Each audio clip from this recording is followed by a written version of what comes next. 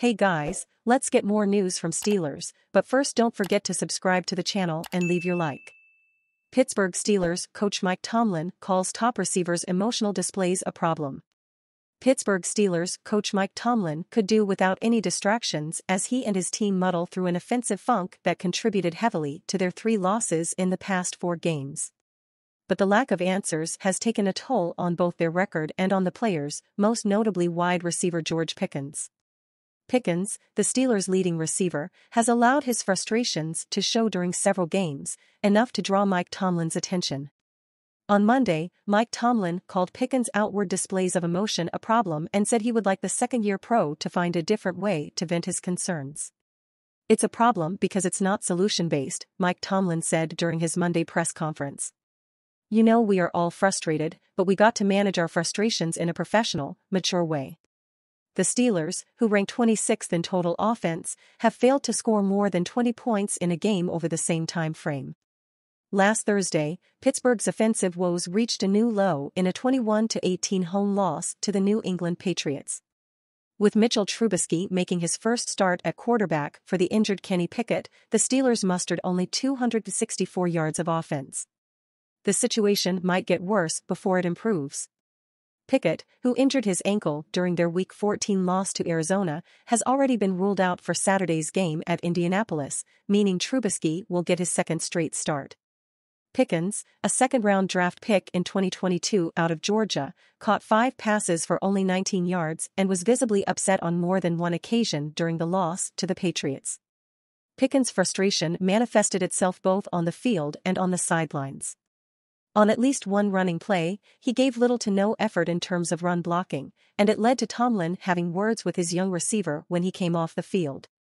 The Steelers, who have been searching for offensive consistency all season, fired offensive coordinator Matt Canada on November 21, two days after losing to the Cleveland Browns, 13-10.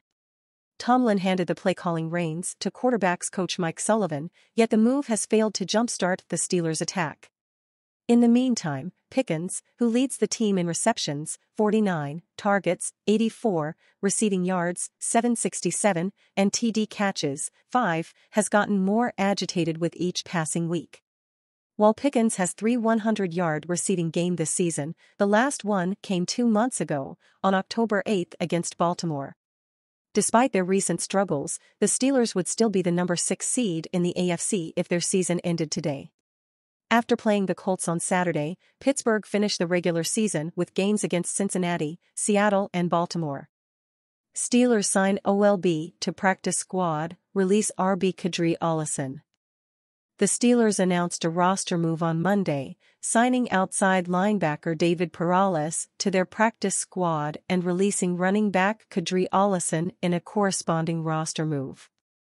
Ollison was called up from Pittsburgh's practice squad twice this year, playing on special teams against the Browns and Raiders in weeks 2 to 3.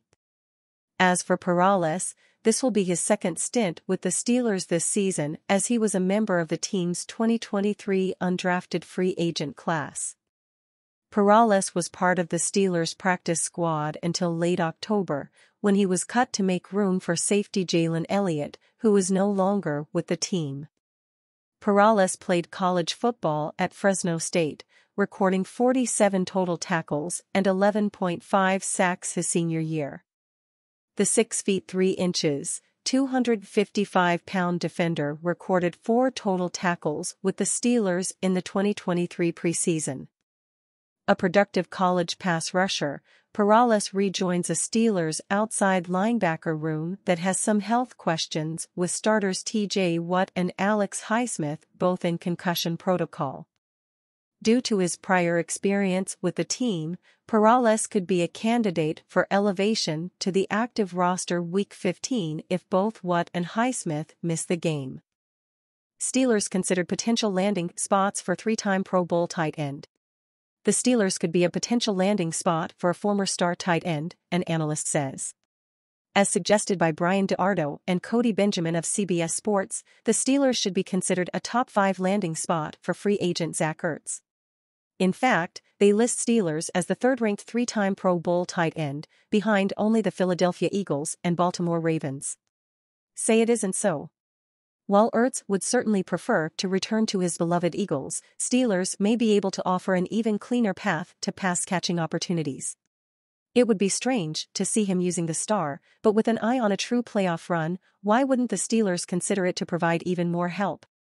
Ertz isn't quite the dominant tight end he was in his prime, he once recorded a record 116 receptions for a tight end, as well as 1,163 receiving yards and 8 touchdowns during the 2018 season, but he can still be an asset.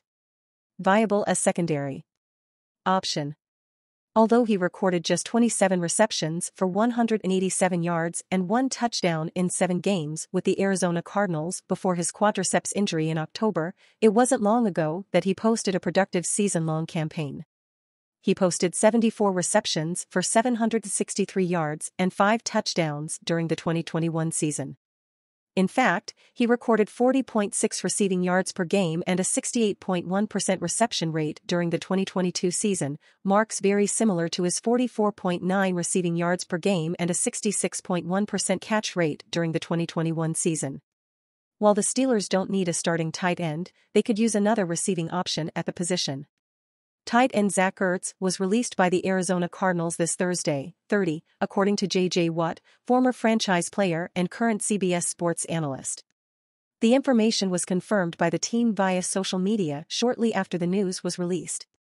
According to Watt, who was a teammate of the TE in Arizona, the release came at the request of the athlete himself, who wants to join a title favorite franchise to win his second Super Bowl ring. However, the player will enter the NFL's waivers list and may have his wish frustrated if a team with lesser aspirations for the season takes over his contract. Ertz began his career with the Philadelphia Eagles after being selected in the second round of the 2013 draft. With the franchise, the player won the NFL in 2018, being an essential part of the attack, especially in plays in the red zone, where he completed 38 of the 46 receptions of his career. The athlete moved to Arizona in 2021 and has not been achieving the same success as he had at his peak with the Eagles. After his 2022 year ended with a knee injury, Ertz returned this season with the lowest numbers of his career, having 187 yards on 27 receptions and a touchdown in seven games played. Furthermore, the tight end gained competition in the position with Trey McBride gaining more space in the attack. The sophomore has 521 yards on 48 receptions and a touchdown in 12 appearances this season. If Ertz is released from the waiver list without a team taking him on, the Philadelphia Eagles emerge as a likely destination. And you fan, what do you think of the Zach Ertz situation? Leave your opinion in the comments.